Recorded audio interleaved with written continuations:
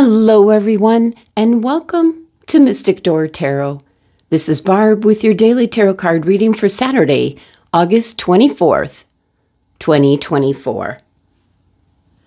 And today we have Major Arcana card Death.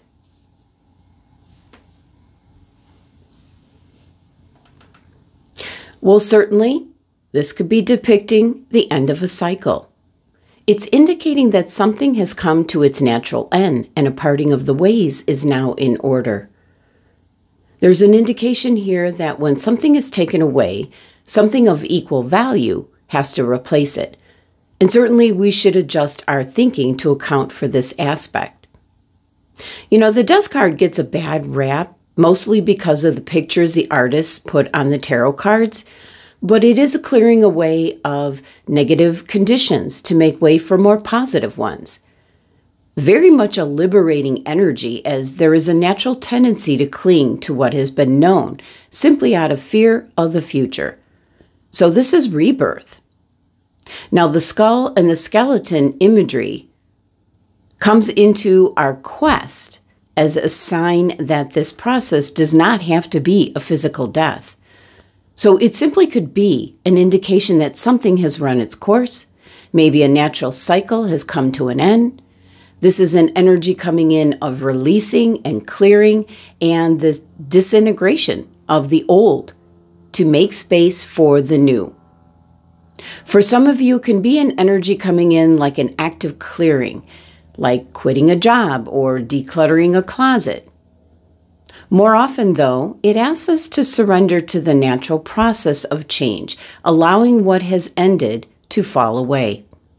So, with the death card showing up today, what are you ready to release? Even though an ending may be sad or difficult, you may not know what will follow. So, you need to trust that your inner wisdom will guide you through this transformation.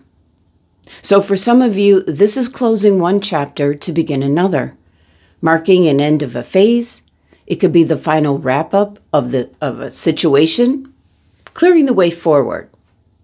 But for some of you, releasing what's no longer needed in your life to make room for new growth, clearing out the old to make way for new opportunities, and learning to accept and adapt to major life changes. Because this is a major arcana card. Transformation is the name of the game especially with the death card coming on the scene, going through big changes that can reshape your life. But this is starting fresh with the sense of renewal and possibility. So, the start of something new after what would be considered a significant ending. This is Scorpio's card in energy, a major arcana card, with the numerology of number four. So, if you are a Scorpio, this is your card, your energy coming in today. You might feel it more than others.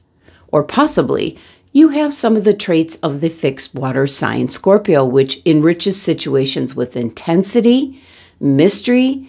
It's diving into emotions, rebirth, uncovering hidden truths.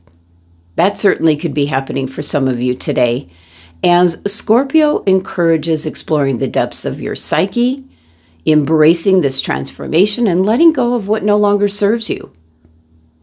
This being a major arcana card, which carries its own unique energy and symbolism, it can be a profound life event happening, the closing of one door to open up another.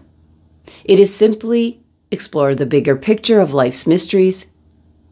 And the number four numerology is grounded in its essence, resonating with a stability, structure, urging you to lay strong foundations and steadily work towards your goals.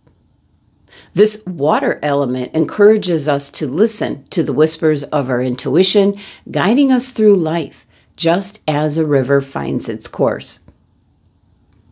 Now, the crystals that are specifically associated with the death card are bloodstone, obsidian, Apache tear, black tourmaline, amber, zebra stone, all have amazing properties that can help with completion, transformation, change, and letting go.